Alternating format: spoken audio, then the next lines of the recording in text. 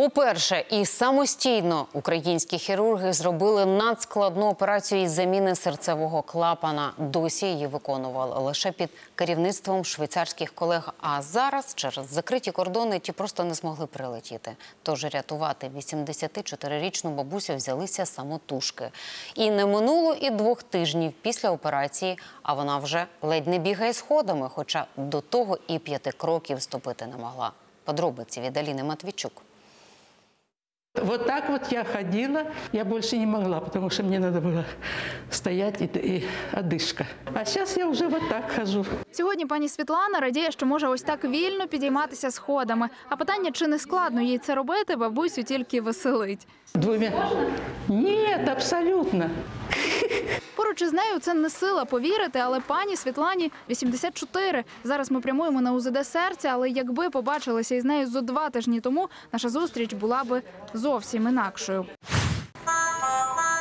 Реанімація відділення кардіохірургії на столі пані Світлана з ішемічною хворобою серця та аортальним клапаном, що вийшов із ладу та більше не може переганяти кров. Над нею з десяток медиків, а на моніторах вкрай складна операція заміна того самого клапана на штучний. На работающем сердце, без аппарата искусственного кровообращения, без остановки сердца имплантируется артальный клапан. Он заводится в закрытом состоянии в так называемой системе доставки. Это такая длинная штука, э, которая должна пройти через бедренную артерию и дойти внутрь сердца. То есть она по длине в районе метр сорок.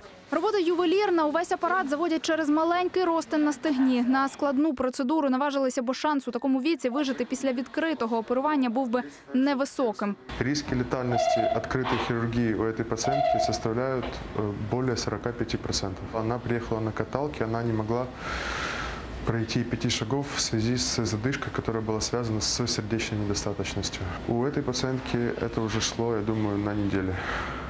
То есть, грубо говоря, если бы мы ничего не сделали, скорее всего, что до месяца, ну, Ось ця сіточка, це і є клапан. Світлана стала першою, кому українські хірурги імплантували його без допомоги швейцарських колег. Ті завжди курували такі й без того рідкісні процедури в Україні. А відтепер це самостійно робитимуть і наші фахівці. Мой спаситель.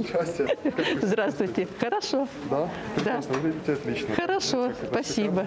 Уже сьогодні, коли добре ходить біль у серці не турбує, пані Світлана зізнається, на операційний стіл її вклало багаторічне зволікання з вирішенням проблеми зі здоров'ям. Я ходила своїми ножками, все нормально. Думаю, ну зачем менять? Доходилось до тех пор, что уже все. И я поняла, что я инвалид.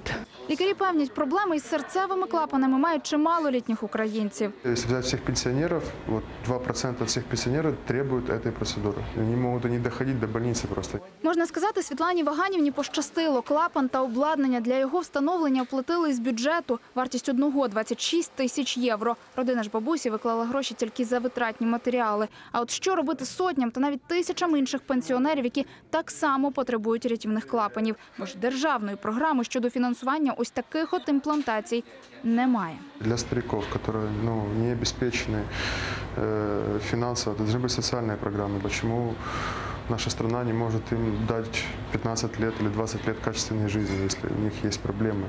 Это, я считаю, несправедливо. Мы со своей стороны как бы стараемся максимально ну, делать все, что мы можем, но если у нас не будет чем это делать, соответственно, ну, как мы сможем помочь человеку? Однозначно результат очень хороший.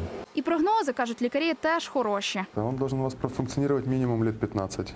Поэтому то, что мы, говор- мы говорили, что, что когда вам будет 100 лет, чтобы мы с вами как это, выпили чаю обязательно. Хорошо?